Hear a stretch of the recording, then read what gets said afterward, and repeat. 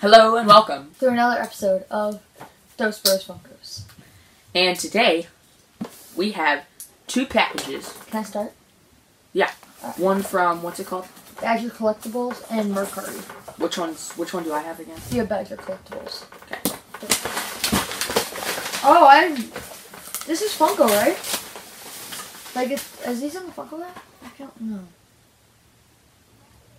There's nothing here that says Funko. It's Hasbro.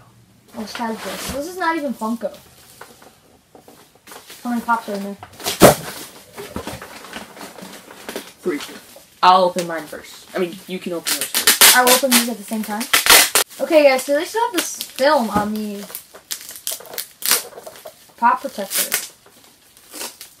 You know what? I'm gonna take that off. Oh my god, they put in the pop protector backwards. All right, let's see what you can do.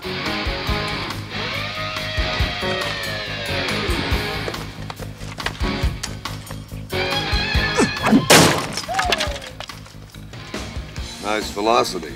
Sounded like it. Jesus. How much? 96. Better teach this kid some control before he kills somebody.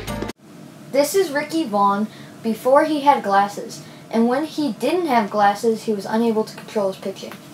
So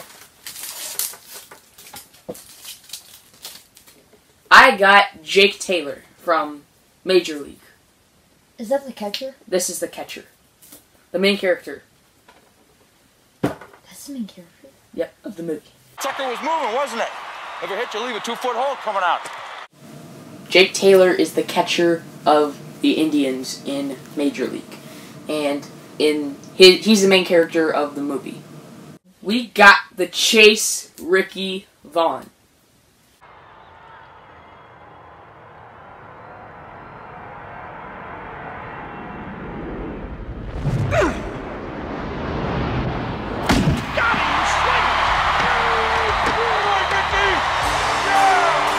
This is Ricky Vaughn when he had his cool skeleton glasses, and this helped him control his pitching more, and that's what helped them win the final game of the movie.